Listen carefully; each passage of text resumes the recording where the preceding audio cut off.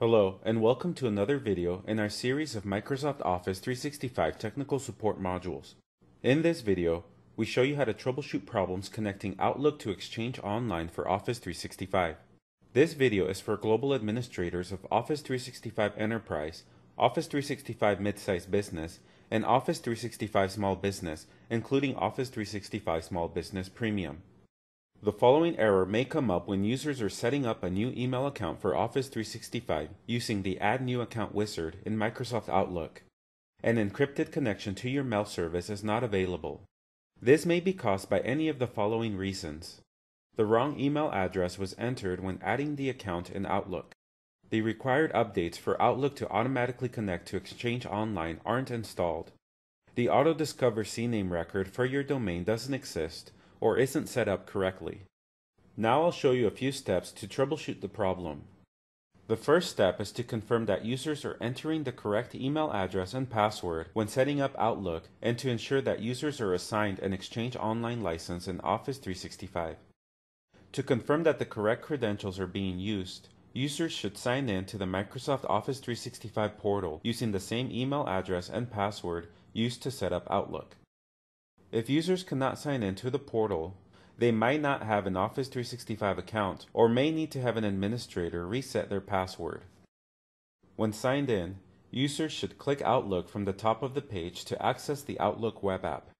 Users who don't see Outlook listed at the top of the Microsoft Office 365 portal after signing in may not have an Exchange Online license assigned to them, or their mailbox may have been accidentally removed. Ensure that users who experience either of these problems have an Office 365 account and are assigned an Exchange Online license. Refer to the Microsoft Knowledge Base article URL displayed on the screen for more information about deleted user accounts. The second step to troubleshooting the problem is to run Office 365 Desktop Setup when using Microsoft Outlook 2010 or earlier versions. Office 365 Desktop Setup configures installed Office desktop clients to work with Office 365 and installs the required updates. You do not need to run Office 365 Desktop Setup when using Microsoft Outlook 2013. Refer to the Microsoft Knowledge Base article URLs displayed on the screen for more information about running Office 365 Desktop Setup. If you continue to experience problems setting up Outlook, you should make sure that the Auto Discover CNAME record is set up correctly. We recommend that you set up Exchange Auto Discover when you are using Outlook to connect to Exchange Online mailboxes. Administrators can use the Domain Troubleshooting Wizard in the Microsoft Office 365 portal or Microsoft Remote Connectivity Analyzer to confirm that the records are set up correctly. First, we'll use the Domain Troubleshooting Wizard in the Microsoft Office 365 portal to check if the domain is correctly configured for Exchange Online. Sign in to the Office 365 portal as an administrator.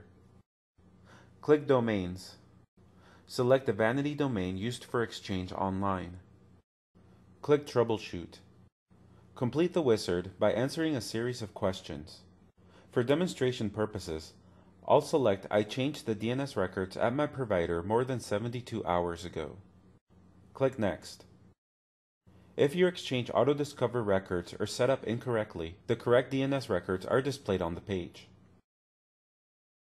Click the Learn How link to view detailed instructions for how to create DNS records for Office 365 for your DNS hosting provider. Now we'll use Microsoft Remote Connectivity Analyzer, also known as RCA for short, to check the Auto Discover CNAME record. Go to the URL shown on the screen Click the Office 365 tab. Click Outlook Auto Discover and click Next from the bottom of the page. Enter all of the required information into the fields. Remove the check mark next to Ignore Trust for SSL and add a check mark next to the disclaimer. Enter the verification code and click Verify. Click Perform Test from the bottom of the page. If your connectivity test fails, expand each of the test steps to view additional information.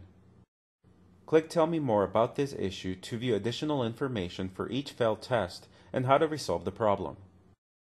If you continue to experience problems connecting Outlook to Exchange Online for Office 365, even after following all of these troubleshooting steps, refer to the Microsoft website URLs displayed on the screen for a list of additional support options.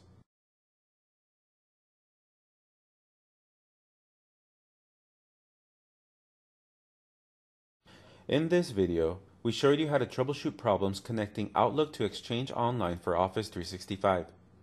Thank you for watching this video, and I hope that you found it helpful.